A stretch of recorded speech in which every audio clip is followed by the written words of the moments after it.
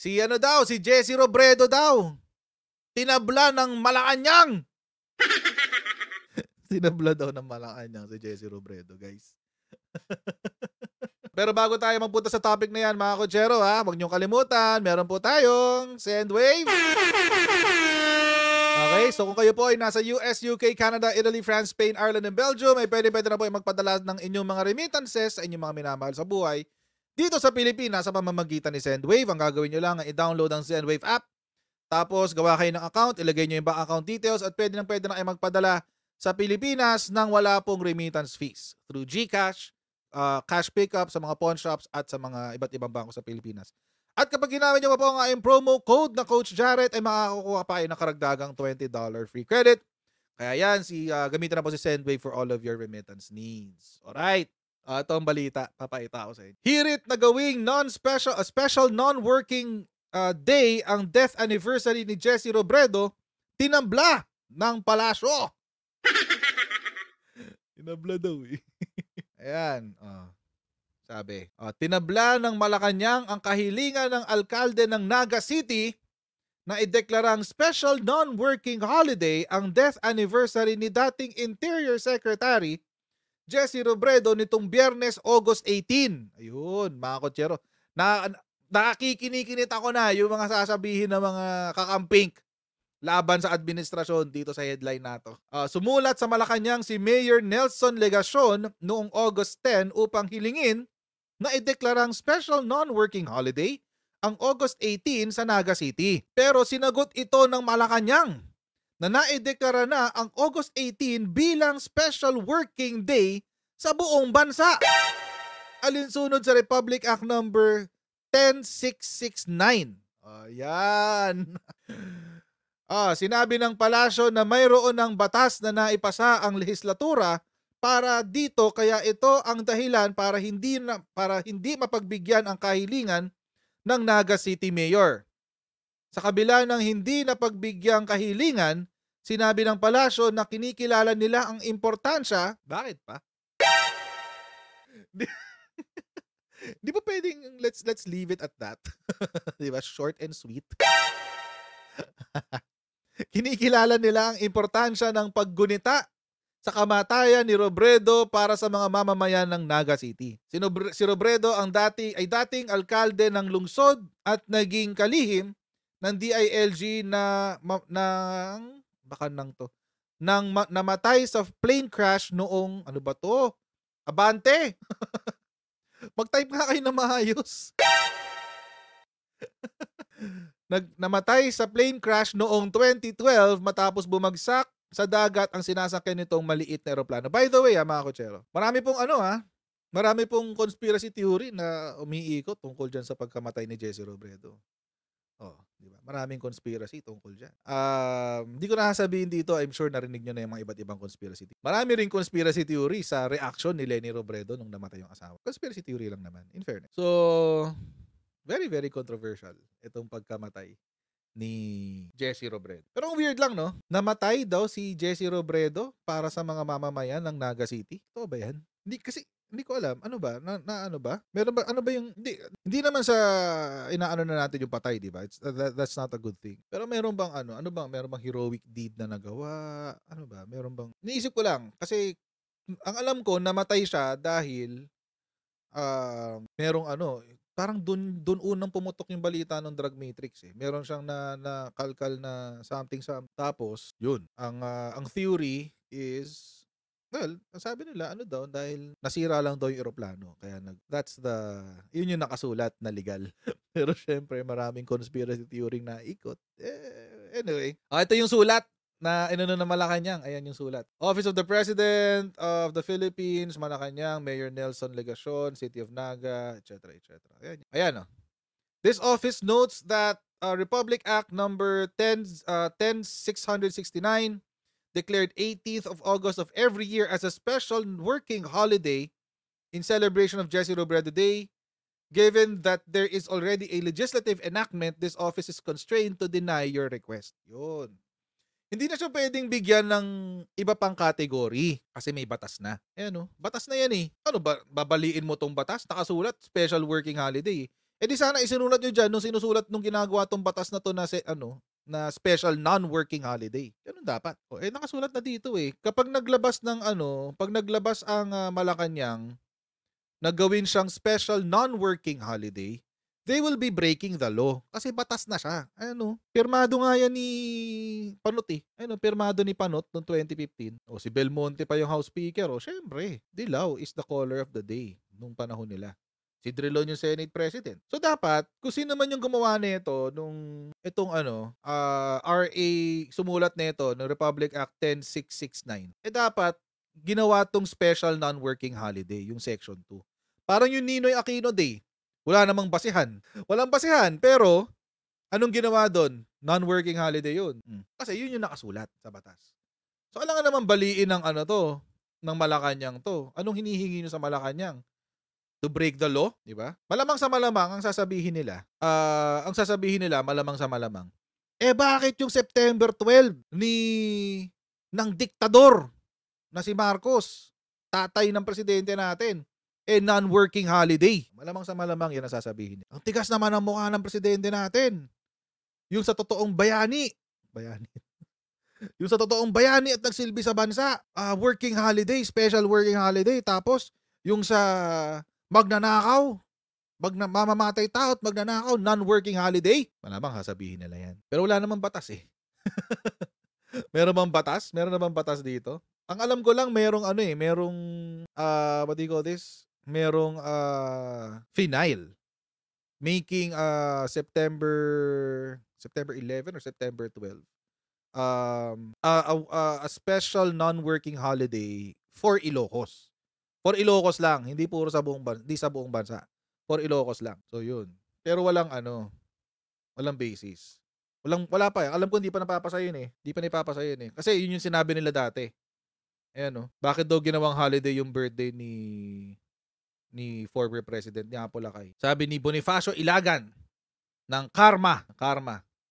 A martial law survivor and convener of Karma It is a whitewashing and covering up the hellish memory that Ferdinand Marcos Sr. and his ilk wrought on the nation. Ito ganun. Ah. It is befitting and proper that the people of Ilocos Norte be given full opportunity to celebrate and participate in the occasion with appropriate ceremonies yun yung sinabi ng proclamation ng ano Malacanang. Tapos yan, nag, lahat na nagsalita na yung mga aktivista, lahat-lahat yan. Ayan, si Karma, meron pa yung kay Bayan, etc. etc. Tapos lagi lang sinasabi, plunderer yung plunderer daw. Yan, sabi ng Ateneo, plunderer dahil nag-plunder daw ng up to 10 billion ill-gotten wealth. Ay, by the way, nakwento ko na ba sa inyo? Ah, uh, di ko alam kung na, nagawa ko na to ng vlog, pero parang hindi pa yata. Meron na namang na-dismiss na kaso sa Sandigan Bayan. Na yun. Eh, bago eh. Itong, kailan, ito, ito, ito, ito. Sa ABS natin kunin para mas masakit. para mas bitter. Ay, ay, ay, wait lang. Yan. Ano? Ande, in-uphold lang pala yung for ano yung uh, dati ng ruling. So nag-motion for reconsideration tapos in-uphold ng Sandigan Bayan. Sandigan Bayan upholds dismissal of Marcos for feature case involving hotels and resorts. August 8, 2023. Press na press. Bago yan. Ano nangyari? Ano na nangyayari sa mga pinagsasabi nyo nagnakaw? Unti-unti nang napapasinungalingan. Ang basis lang nila is yung sa Swiss banks. But mga kotsero, it, it, a civil case can never be, can never give a criminal judgment. Never. Criminal. Ang criminal cases can also have civ- uh, civil liabilities. Yung criminal cases. Pero the other way around doesn't work. Kasi may mga nagsabi eh. Uh, merong nagsabi, nag-message sa akin, private message. Sabi niya, um, ba- ba- bakit mo sinabi na yung sa Supreme Court, yung civil ruling doon ng Supreme Court is not a criminal case. And napatunayan nga daw na magnanakaw si Marcos through the Supreme Court ruling. Ang sagot po doon, simpleng-simple lang It is a civil case. Civil for future case yan. At hindi po inaalam doon kung merong criminal liability. Although, criminal cases or criminal acts can have can also have criminal uh, civil liability. It, yun, pwede yun. So, halimbawa, kinasuhan kang kriminal. Tapos, um, kinasuhan ka rin ng uh, civil, kasong civil, kasabay nung criminal criminal case mo. Pwede yun. Kasi it can incur civil uh, ano, civil damages. Um, pwede 'yon. Pero the other way around, yung civil case tapos kukuha ka ng criminal, no, it doesn't. It doesn't. It doesn't work like that. So, sa mga nagsasabi po ng ganun, baka pwede na nating i-ano, i-update yung kaalaman natin. Oo. Baka i puwede nating i-update ng konti lang, kon konti lang naman. Update natin 'yan. Anong sinabi ng ano, Sandigan Bayan? Hmm, oh, sabi, "In the resolution of the court promulgated Tuesday, the motion for reconsideration filed by Plaintiff Republic of the Philippines through the Office of the Solicitor General was denied for lack of merit." Walang halaga. Wala kasi silang bagong naipakita. Needless to state, the allegations contained in the motion are mere rehash of the issues already ruled, passed upon, and judiciously resolved by this court. So wala, dismiss ng kaso. Anong next step? Supreme Court. Yun ang next step dyan. Supreme Court. Anong next step sa Supreme Court? Wala na, that's it. pag nakatulang ka ng Supreme Court, pag may judgment na ang Supreme Court, wala na, res judicata na yon. That's it, pansit. Wala na. So, ewan ko lang, feeling ko ito yung next na ibabato nila. Yung uh, gagawing, but si, but yung kay ano, yung kay Ferdinand, kay Apolacay, kay Ferdinand Marcos Sr., uh, non-working holiday sa Ilocos. Ilocos lang, guys. Sa Ilocos lang. Bakit yan? Alam niyo po kasi, mga kotsero, sana, ang ginawa ni Mayor ganito, may congressman naman kayo dyan sa Naga. ba? May congressman naman kayo dyan sa Naga sana pinag-file nyo siya na i-amend yung batas making Jesse Robredo Day. Sana pina-amend nyo na lang yun. Tapos making it a special non-working holiday for Naga. For Naga lang kasi hindi naman siya isa-celebrate sa buong bansa. Bakit natin kailangan i-celebrate sa buong bansa? ang pagkamatay ni Jesse Robredo. For Naga lang, kasi nagsilbi siya ng matagal sa Naga. Matagal siya naging mayor doon. And siguro naman, sa tinagal-tagal niya naging mayor sa Naga, eh na merong, in, meron siyang nagawa para sa Naga. Most probably, imposible naman na ang tagal-tagal mo mayor, so wala kang nagawa. Siguro may nagawa naman siya sa Naga. So, i-amend yung batas. Diba? Gawin yung special non-working holiday. For Naga lang. For Naga. Kasi kung gagawin yung buong Pilipinas, parang malabo yata. Kasi hindi naman nakinabang ang Manila. Hindi na kinabang ang ibang mga probinsya.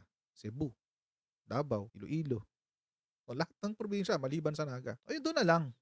Mag-special non-working holiday kayo doon. Pwede yun. Ipa-amend nyo yung batas. Pero ang weird lang talaga na pinadaan pa nila sa Office of the President. Alam naman nila yan eh. Alam naman nila yan bakit pinadaan pa sa Office of the President. Pwede naman kausapin ng congressman yung kanilang ano, yung uh, mag-file siya ng petition to amend yung batas na yon RA 10669. Pwede naman yun eh. Bill pala, petition, ng bill to amend yung law na yun. Tapos, but, ang, ang weird, parang, bakit dinaan pa nila sa OP? Eh, alam naman nila na magkalaban sa politika yon So, parang may, may sa, sa utak ko lang naman, no, parang may ganong factor na parang tinatrap yung admin to act contrary to its, uh, contrary to itself. So, ewan ko lang. Ang weird lang, ang weird lang talaga. May iba namang proseso eh. May legislative, merong executive. So yun. Ayun na nga, Amik. yun na nga. Yun nga ano. Gusto talaga nilang ano may may masabi sa admin na parang uh, ano ba yan? Hindi man lang pati yung pati yung asawa na ganyan ganyan hindi man lang pinatawad, ganyan ganyan. Bakit yung tatay? Merong non-working holiday sa Ilocos, executive department ang naglabas, ganyan ganyan, ganyan ganyan. Eh wala namang batas na nagsasabi kay President Ferdinand Edelin Marcos na gawing national non-working holiday yung birthday niya. Wala naman ganun. Eh yung kay Jesse, national to guys. Oh, to be celebrated in all elementary and secondary schools in the country. My goodness. In all elementary and secondary schools in the country. Imagine buong bansa. Ang weird lang. Ang weird ng pagkakasulat ng batas na to. So ibig sabihin kapag hindi nagawa ito ng DepEd schools, eto, pag hindi ito nagawa ng DepEd schools, they're violating Republic Act uh, 10669. Ang weird. Ang weird talaga. DepEd pa mag implement ha. Ayan no. Oh. The DepEd shall plan and implement activities for the Jesse Robredo Day and ensure that Jesse Robredo's legacy of good governance and leadership is given emphasis to encourage students to continue the same for the good of the Philippines and the Filipino people. 'Di ba? Kung sa Naga, walang problema, gawin niyo 'yan sa Naga. Kasi doon siya naging mayor, doon siya nagkaroon ng epekto. Again, we're not beating on the dead, you know. Kasi patay na nga eh, kawawa naman yung... And hindi rin natin mini-minimize yung naging epekto niya sa mga nas- taga-naga. Mga taga-naga. Pero na, naman, gawin yung buong bansa, ano, di ba, ano, ano, hindi naman namin naging mayor yan, hindi naman siya naging presidente. I, I don't understand. Hindi ko naintindihan ang purpose nitong batas na to. Except to politicize the death of Jesse Robredo. That's it. Hindi naman siya naging sundalo, hindi siya war hero, hindi rin siya decorated na ewan ko, ano ba? Ano bang ano bang naging significant effect niya sa Philippine history? Hindi ko alam, hindi ko alam. Di- ma- ano daw, yung good governance daw. Okay, ba't hindi na-replicate sa ibang lugar? Siguro kung ni-replicate niya, kasi alam ko DILG secretary siya. eh. Kung na-replicate niya yan sa buong Pilipinas at nakinabang ang buong bansa doon sa kanyang good governance model, baka pwede pa. Pero sa Naga rin. Sa Naga pa rin, hindi sa buong Pilipinas. Anyway, kawawa naman, kawawa naman kasi nag- ginagamit yung pangalan niya para sa politika ng mga gan- ganyan ka walang hiya ang mga LP. Patay ka na, ginagamit ka pa. Hindi na binigyan ng katahimikan yung sama. Ang sama. Ang sama sa panlasa, no? Parang, So hanggang dito lang po muna tayo mga kutsero, no? Maraming maraming pong salamat sa inyong patuloy na pagsuporta. And please don't forget to like, share, and subscribe. And I'll see all of you in our next live stream. Bye everyone. See you next time. Bye.